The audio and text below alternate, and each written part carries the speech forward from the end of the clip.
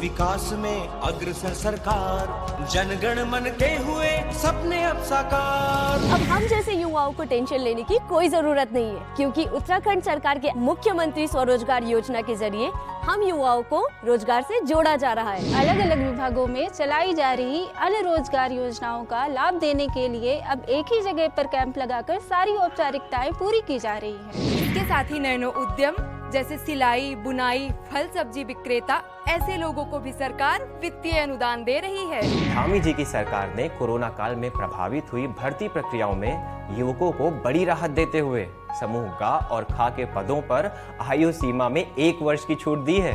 और यही नहीं मार्च 2022 तक होने वाली भर्ती परीक्षाओं में लिया जाने वाला शुल्क भी धामी जी ने अब माफ़ कर दिया है। वीर चंद्र सिंह गढ़वाली पर्यटन स्वरोजगार योजना के तहत दी जाने वाली सब्सिडी को बढ़ाया जा रहा है। अब स्टार्टअप के लिए भी सरकार युवाओं को सहूलियत दे रही है। श्रीनगर हल्द्वानी और देहरादून के मेडिकल कॉलेजों में 501 पदों को सृजित किया गया है और इसी के साथ ही राजकीय नर्सिंग कॉलेज बाजपुर में 70 पदों की स्वीकृति दे दी गई है। उत्तराखंड में लगभग 22 से चौबीस हज़ार रिक्त पदों और बैकलॉग के साथ ही समस्त रिक्त पदों पर भर्ती प्रक्रिया शुरू हो चुकी है। अब मिलेगा हमें रोज़गार का अधिकार। युवाओं के संग है हम उत्तराखंड है हम। नमस्कार, उत्तराखंड की खबरों में आपका स्वागत है। मैं हूँ आपके साथ आकाश सोनी और अब देखते हैं खबरें विस्तार से। नए साल की छुट्टियों पर उत्तराखंड में लुफ्त उठाने वाले सैलानियों के लिए अच्छी खबर है। सैलानियों को ताजे बर्फबारी का मज़ा लेना ही तो उत्तराखंड की ओर रुक कर सकते हैं। इस बार दिसंबर के अंतिम सप्ताह से लेकर जनवरी पहले सप्ताह तक मौसम सुहावना रहने वाला है।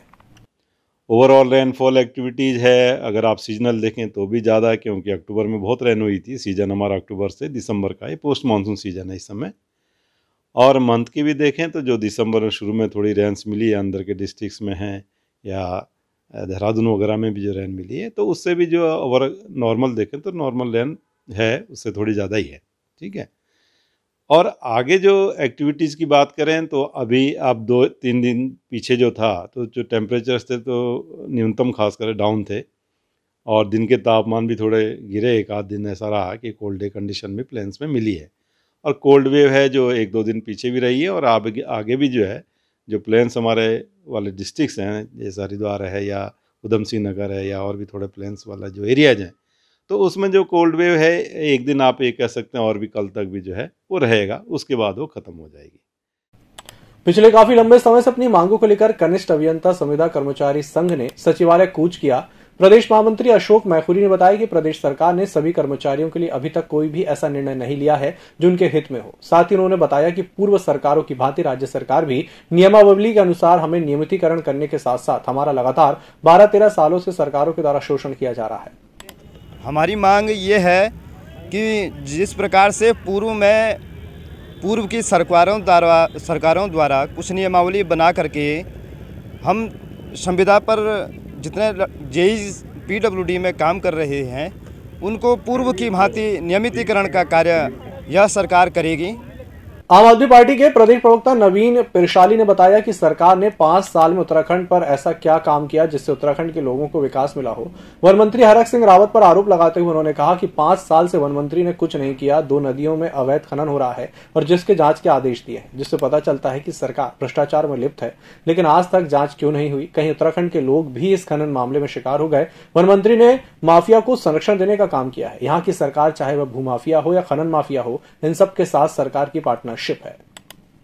कि सरकार के एक कद्दावर मंत्री ने ये एडमिट किया है कि इस प्रदेश में अवैध खनन हो रहा है, जो नंगी आँखों से दिखाई दे रहा है, जो एक गंभीर मसला है कि सरकार के मंत्री ने ही ये सवाल उठाया है कि यहाँ पर खनन हो रहा है। तो आप देख सकते हैं कि प्रदेश में किस प्रकार से माफिया सरकार चल रही है और इन सरकार ने माफियाओं से हाथ मिलाया हुआ है। इस प्रदेश को करोड़ों रुपए की राजस्व हानि हो रही है। जिसके चलते हमारा प्रदेश पूरी तरह से पीछे जा रहा है। साल 2022 के चुनाव करीब आते ही सभी राजनीतिक दलों के नेता सक्रिय होते हैं। पिरान कलियर विधानसभा से दो बार विधायक रहे हाजी फुरकान अहमद ने कहा कि देहरादून में हुई राहुल गांधी की ऐतिहासिक रैली ने बता दिया है कि 2022 में उत्तराखंड में कांग्रेस की सरकार बनने जा रही है, क्योंकि लोग भाजपा की करनी और कथनी से परेशान हो चले हैं। माना जब मोदी जी आए थे, उनकी जो कुर्सियाँ थी, उस टाइम खाली जब मोदी जी भाषण दे रहे थे सारी कुर्सियाँ खाली पड़ी थी। और आदरणीय राहुल जी की एक जन सैलाब था, हरिद्वार से लेकर पूरे उत्तराखंड के कोने कोने से बड़ी तादाद में आया। हमारे, मेरी विधानसभा से 120 के करीब लगभग छोटी बढ़िया गाड़ी गई और सभी विधानसभाओं से काफ़ी भीड़ गई जो एक बहुत ऐतिहासिक रैली हुई।